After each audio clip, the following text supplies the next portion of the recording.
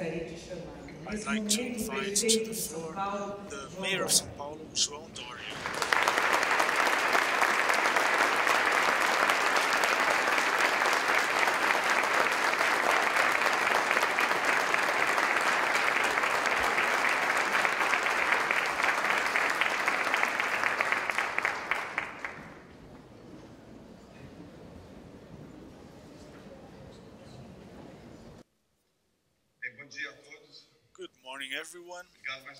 Thank you again for the invitation. I've had the opportunity to speak to Helio Magalhães and all the director, uh, all the board at AmCham in a room uh, just next door, thanking them. But thank thanks again, and thank you everybody for being here this morning.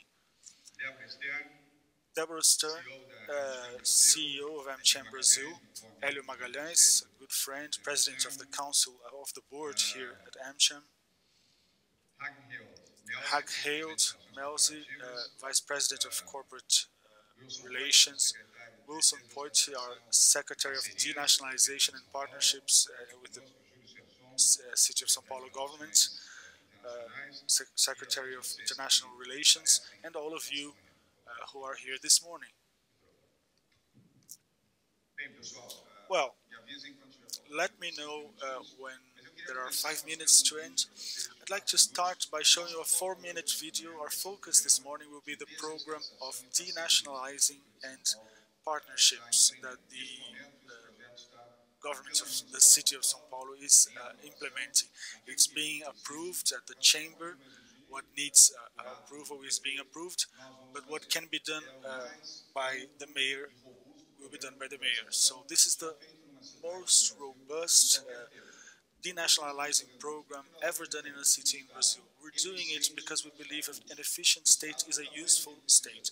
The state, the right size of the state is the size right to produce quality goods, the desirable size and the performance and efficiency in public services. So we will uh, have broad PPP programs.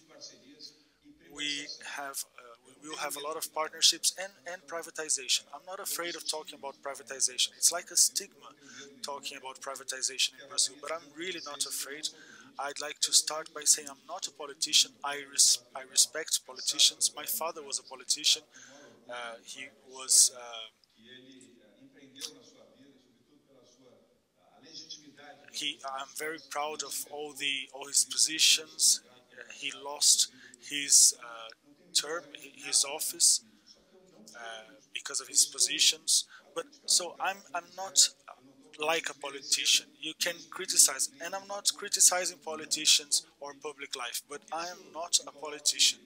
I'm not uh, saying I am disgusted at uh, politicians, but I am a manager. I'm doing in the public sector what I used to do, or I did for 40 years, 45 years in the private sector. So I have no problem talking about privatization. No difficulty whatsoever to defend what's important, what's necessary for the country and for the population. I have no intention, I'm no candidate for uh, presidency governor, not even re-election. I, I clearly said when I was elected that I'm against re-election. I think it's bad. So it's management, efficient management, transparency, and innovation. These are the basis of what we do, and a very clear objective: serving the poorest, humblest people first. They are really our priority. And when we have a program like this that we will will see in these four minutes, that's because the resources that will come from this program will be destined primarily to the poorest uh, and 100% for social development. And in this order health, education, popular housing, urban mobility, social assistance, and public security. These are the priorities for uh, the, the poorest. We won't denationalize uh, with the with the fund of denationalizing to pay debts. The mayor has prohibited this. It's 100% directed at social programs. The debts must be paid, the costs must be taken care of, but with other resources. Uh, these resources will go to social programs, and I'll explain why it's, it's essential to have a vision of this broadness, especially in the peripheral areas, the poorest areas of the city. But now let's uh, watch a four-minute video to see what the basis of this denationalization program for the city of São Paulo is.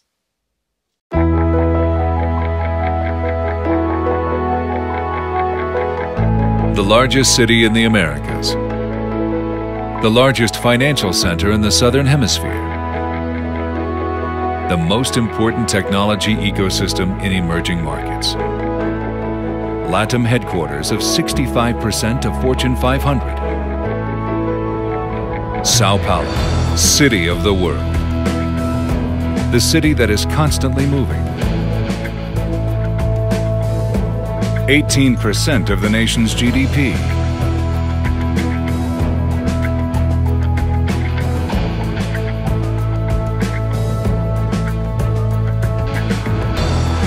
Multicultural and friendly. Sao Paulo welcomes and embraces. Main host city of Latin events. The leading city for FDI in Latin. Sao Paulo, the city that has its own pace. A fast pace. Sao Paulo is proud to launch the biggest privatization program in its history open and doing business on important assets in several areas. Sports and events. Interlagos Speedway.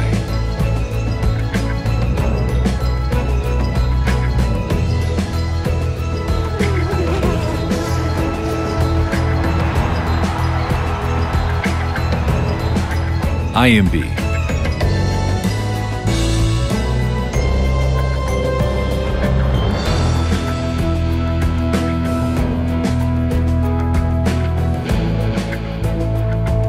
Pacaembu Stadium.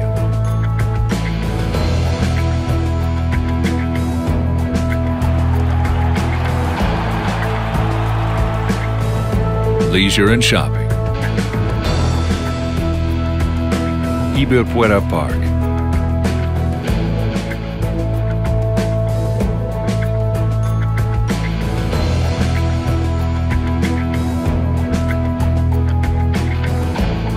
Sao Paulo Central Market.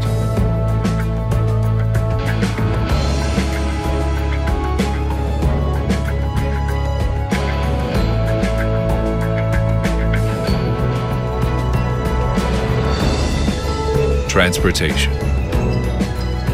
Bus terminals.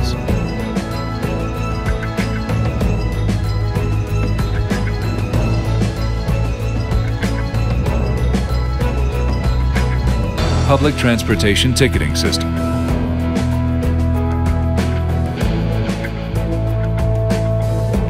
Social care, funeral services.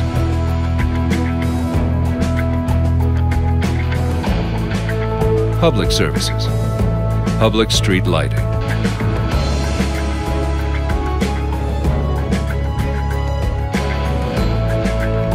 Real estate municipal assets in strategic areas.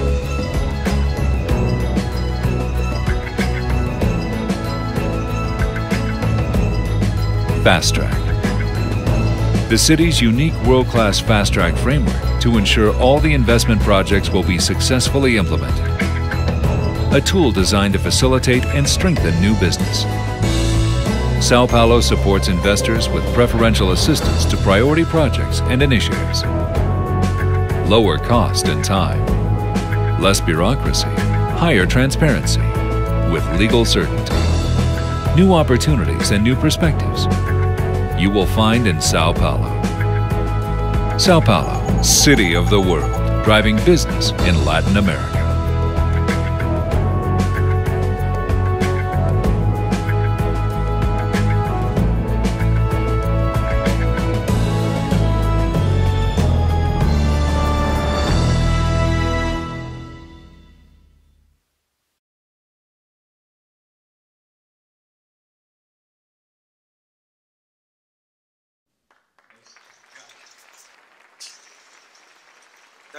Thank you.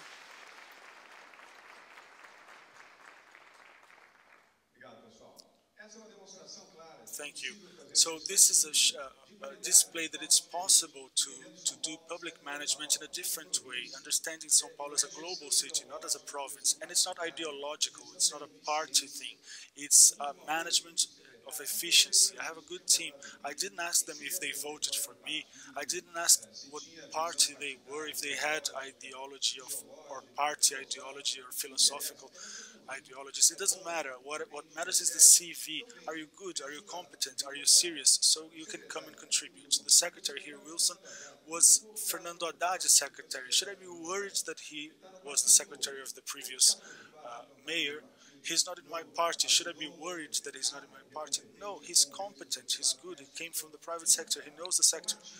Let's make it. Let's let's make a team, competent team and make people a priority, not the party, not ideologies. This is the transformation that we're doing in Sao Paulo. In four months, we got to a point, to a level of over 70% approval. I'm very happy. I'm not uh, looking for this approval. I'm, I'm, I'm trying to do a good management. But if it's approved, it means you're doing the right things in the right way. And this way of management uh, has influenced other regions of the country, other cities, and there are uh, surveys already, polls uh, for president. Again, I'm not a candidate. Uh, my, my function is to be a good manager. I was elected for that. I said to, Beren, to Berenguer, uh, I was elected with my proposals, not because of my political tra tradition. It was my first election we had 53% of the votes here in the largest electoral uh, sec section, section of the country.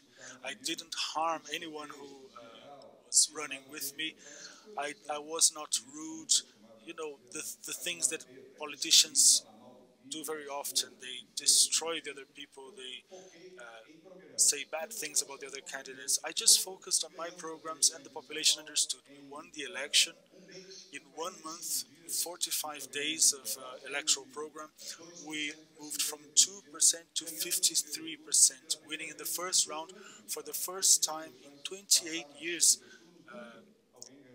Never has anyone won the election in São Paulo in the first uh, round. And we won because of proposals. Now I have to meet my uh, proposals. Uh, normally, people don't do what they promise, but we're doing it with a good team, with clear objectives, with collective meetings, with targets, uh, with awards. We give awards to those who are working, who are working well, and we uh, pe penalize those who are working badly. This is what you do in the private sector, and we're doing in the public sector as well.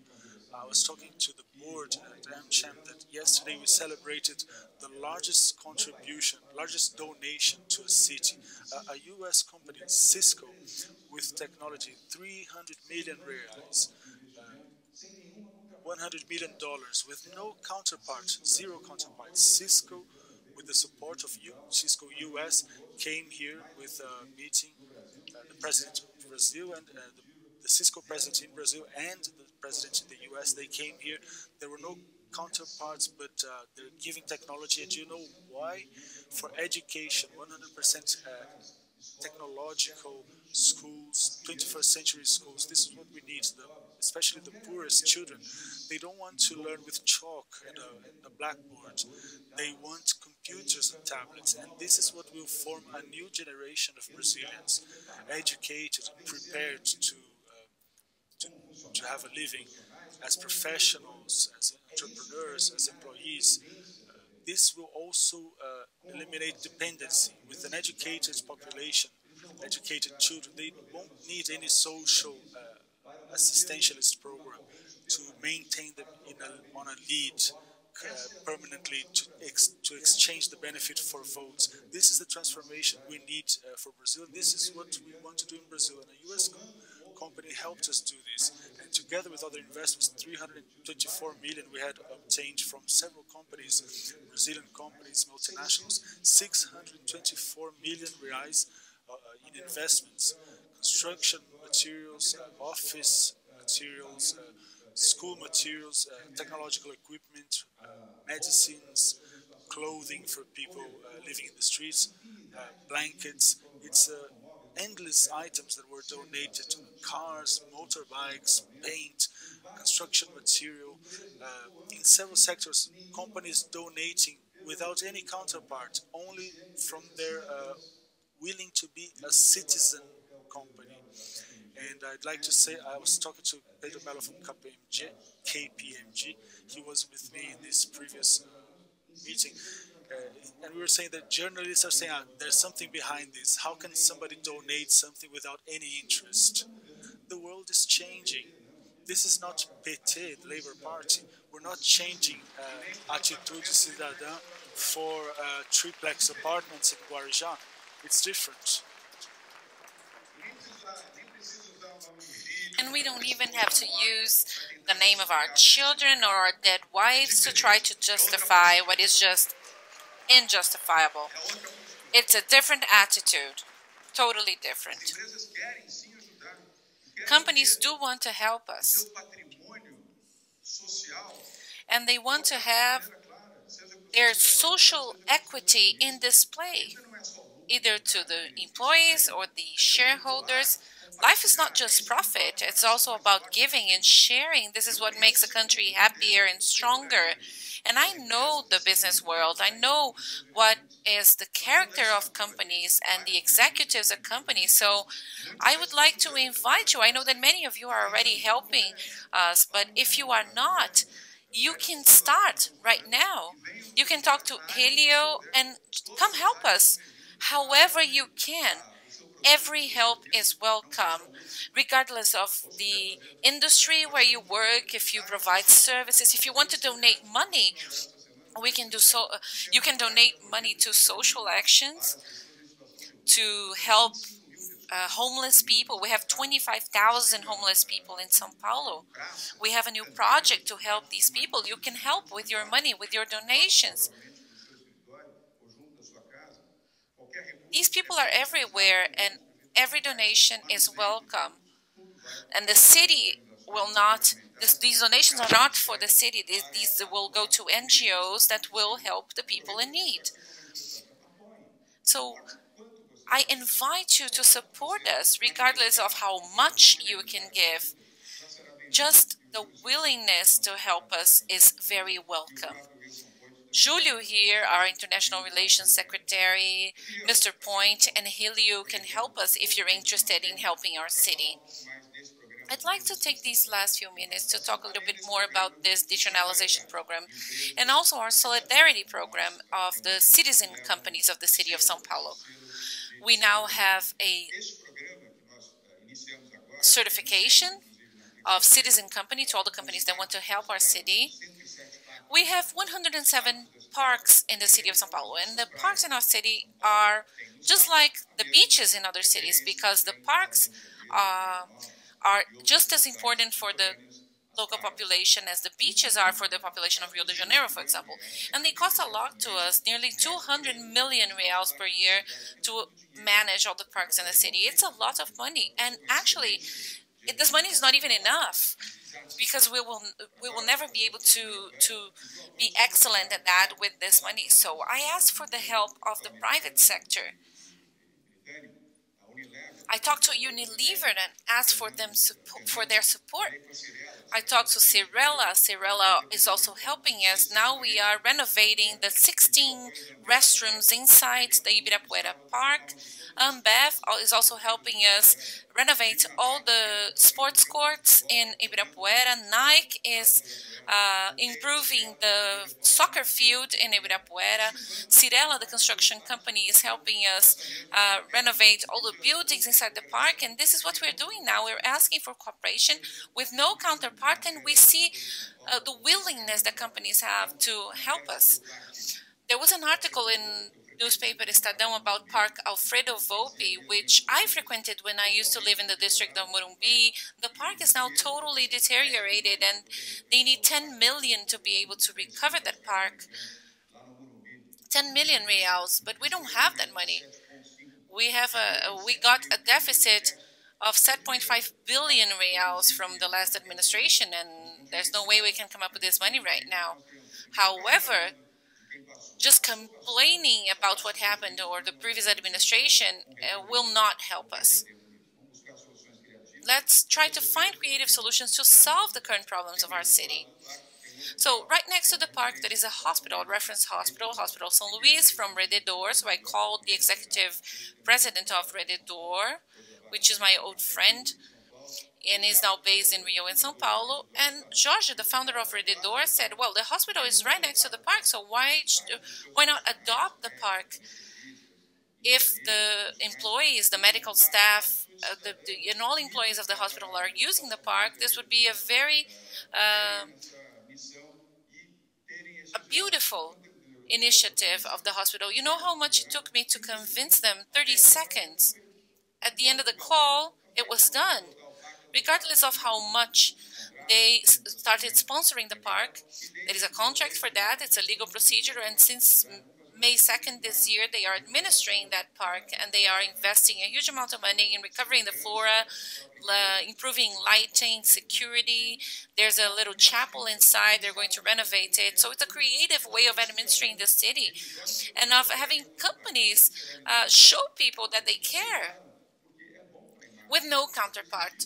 This is good for their reputation and of course, it's good for their professionals, for their shareholders, and even the family members of the patients of that hospital, which uh, sometimes spend several days in the hospital and they can walk in the park. So, do you see the difference of this new type of creative manager, which is no longer stuck to those old and outdated references? If we don't have money, we cannot do it, and end of story.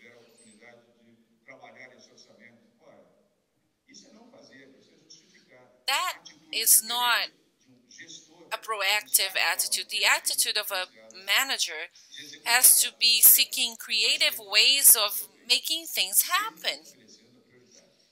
Always setting priorities healthcare, education, public housing, public security, and social assistance to enable practical actions that will help people in need for example, the crackland here in Sao Paulo is a social problem, and it's also a criminal problem, of course, but it's a social problem uh, primarily, and we are going to act. But first, we're going to plan, just like we do in the private sector. You don't do things uh, randomly. Of course, we have to be fast and I've always been someone very fast and objective when making decisions. But first, we need to plan, we need to think about it, we need to establish our strategy, our timelines, the risks, and then we start working. And this has been enabling us, even at high, high paces, to uh, do many more things right than wrong.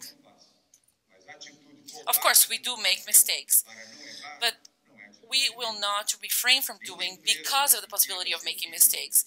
Any company that wants to lead a market, any executive, shareholder, president of a company, uh, if they think oh, that they'd rather not do something not to, to avoid the risks, uh, that's not the right attitude they're going to be uh, swallowed by the competition, right? And in the public sphere, you're going to be judged by the presence and by your history, by your inability to make things happen.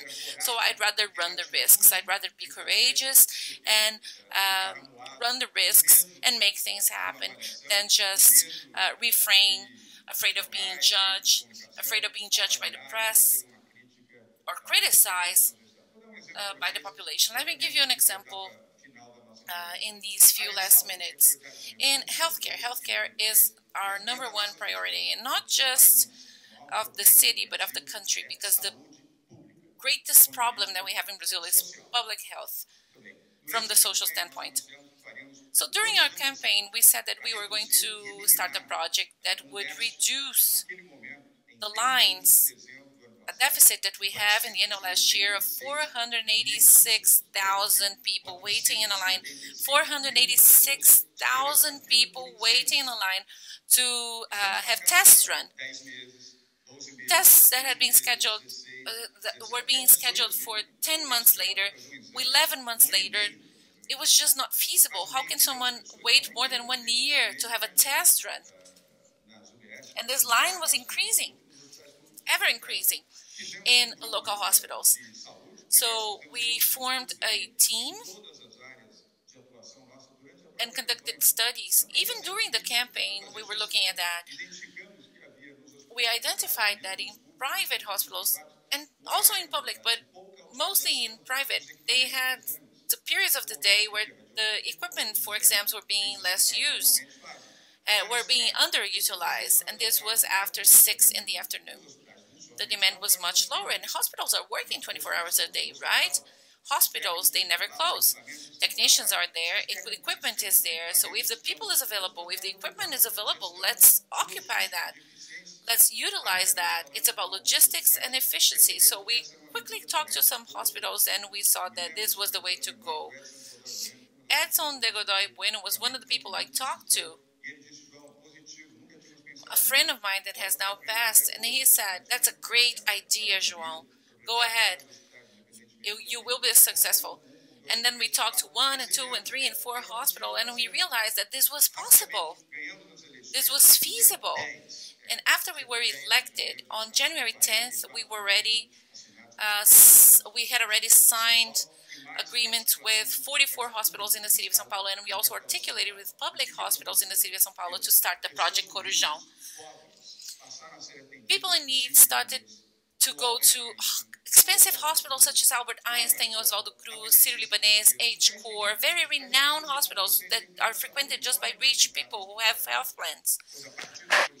Because with our new project, uh, lower class people could start frequenting these expensive hospitals. And I promised them that in 90 days we would zero the deficit. Two new newspapers in Sao Paulo criticized me and said I was lying, that this was not possible.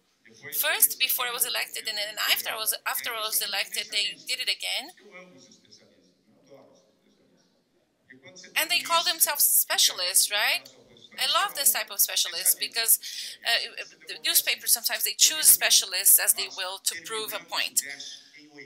But we were able to zero the deficit in 83 days, which demonstrates that it is possible to have an efficient management. And this has become an example a role model. We're going to have a seminar next month with more than 200 mayors from all over Brazil that want to learn from the Project Corujão.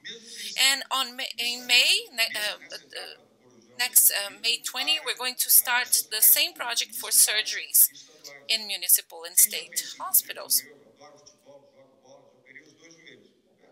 I have been operated many times because I love to play soccer.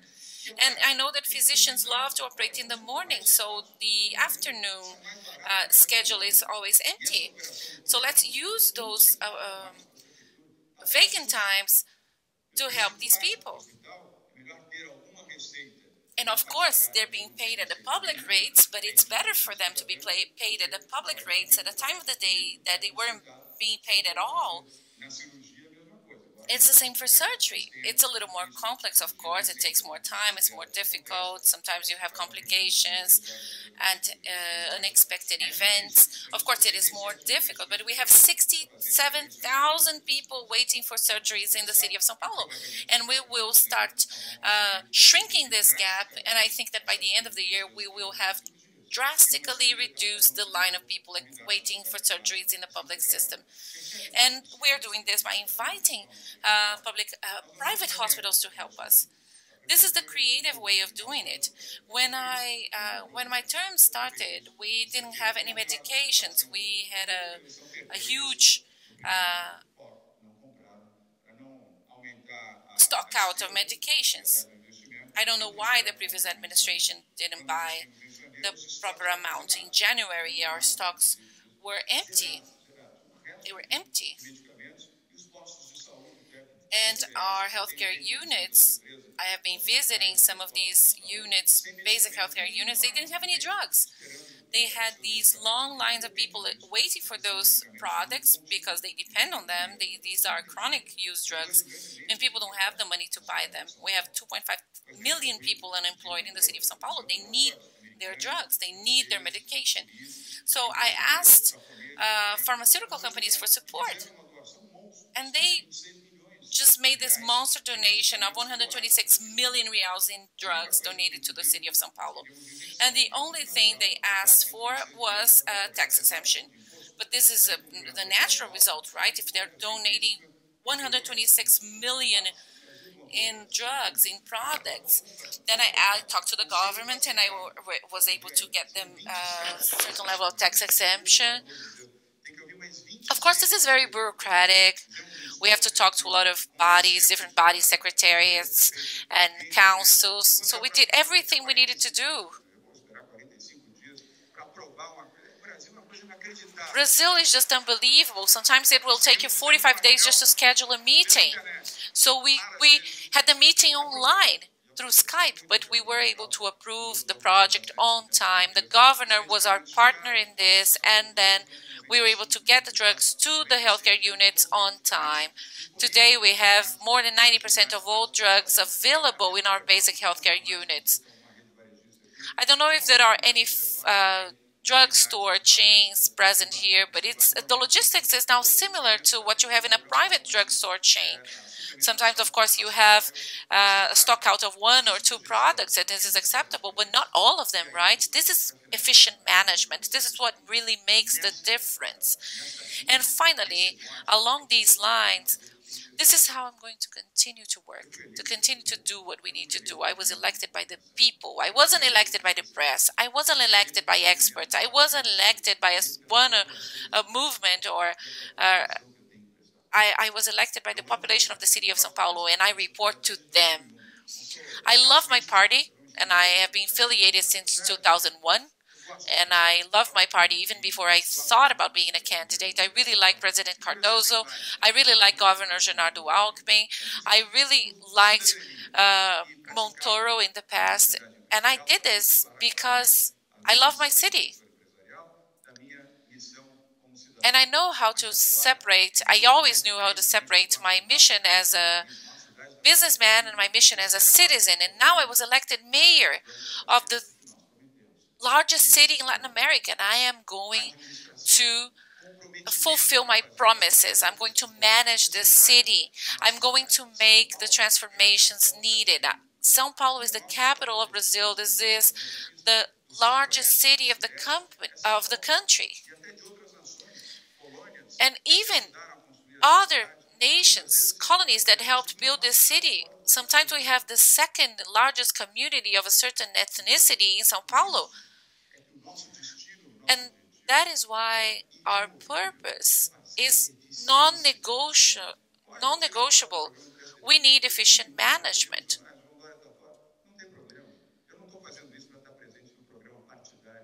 And this is not about my party, this is not about my career, this is not about my future as a politician. My judgment is not what you see on television. I want to benefit the population. I was elected by the, the people, and they are my bosses. And I am very proud to have them as my boss. And after four years, I want to look at my children, Felipe, Carolina, my wife, Bia, who are somehow suffering because they don't have me all the time with them now. I'm very busy and uh, I don't spend as much time with my family and my friends, and I work during weekends and holidays, and I work and I visit the entire city. I'm not just in my office, I'm visiting different places in the city, in the outskirts of the city, poorer areas. And I want to, after four years, I want to be proud and I want to look at my children and tell them that it was worth it, that it was worth it, that I was a good mayor, that I fulfilled my mission, that I was honest, that I was transparent, that I caused a real transformation and I helped improve Brazil starting in the city of Sao Paulo. This is what will make me proud.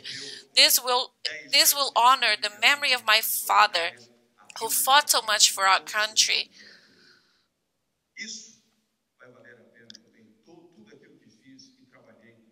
everything and this will also compensate for everything that I did as a businessman because I, am also honored to have helped my country as a businessman. This is what makes me happy.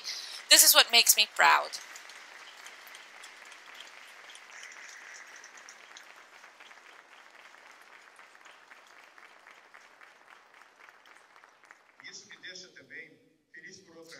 And I'm also happy for one more reason.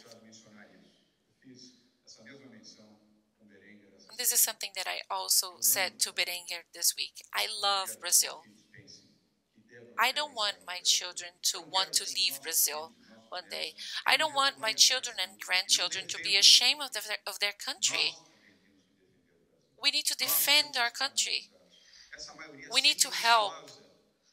This silent majority needs to be a present majority in the country. So do not sit still. Do not allow the silent minority in the country to advance selfish agendas. You have to defend what is good for the country. You have to defend the reforms. The reforms are extremely important the social security reform, the labor laws reform, just like the political reform, which will be important in the future, the tax reform. Defend what is good for Brazil. Do not sit still. Because if we do sit still in 2018, um cidadão que introduziu we risk having the same person, the same person that introduced lies and theft and corruption in a public life in Brazil. Mr. Luiz Inácio Liar da Silva, he could come back as president.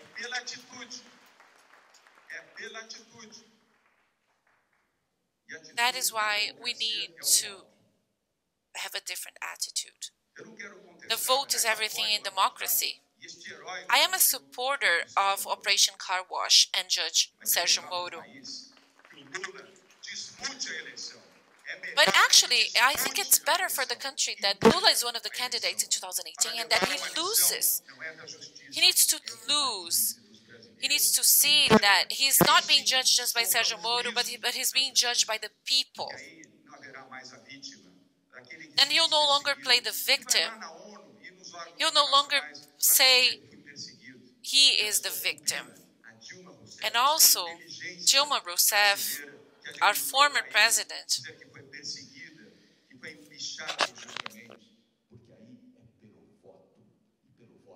who says she was unjustly impeached, they're going to see that now the people said no to them.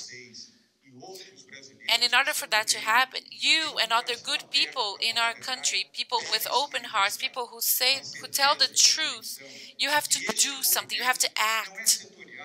And you have you rest assured that this is not just a movement of the business sector, of the industrial sector. This is a movement of the people, of the entire country.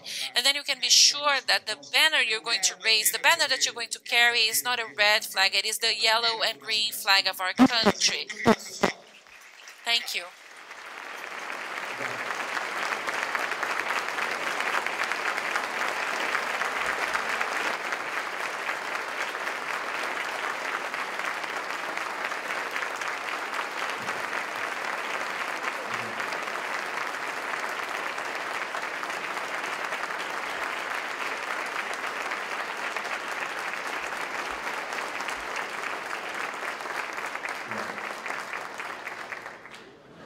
Obrigada, prefeito Dória. Chama a palavra agora o presidente do nosso conselho. Thank you, Mayor João Doria. Now I'd like to invite Hélio Magalhães for his final words.